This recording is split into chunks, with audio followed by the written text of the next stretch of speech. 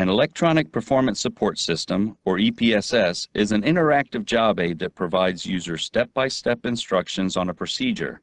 Electronic performance support systems help organizations reduce the cost of training while increasing productivity and performance. These interactive job aids can empower Coast Guardsmen to perform tasks with a minimal amount of external intervention. All of the Coast Guard's electronic performance support systems are available via a web-based catalog.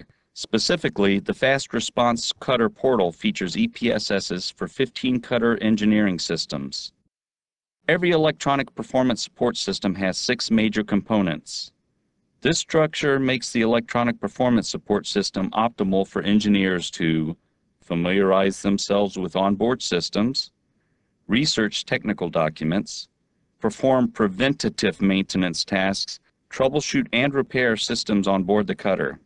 To ensure configuration management quality assurance, each procedure is directly hyperlinked to its applicable maintenance procedure card. An electronic performance support system focuses all available resources and discloses necessary information precisely when needed. Some complex tasks contain many steps or require calculations. The electronic performance support system features various embedded tools, such as calculators and many training videos, which eliminate the potential for human error in the performance of a task.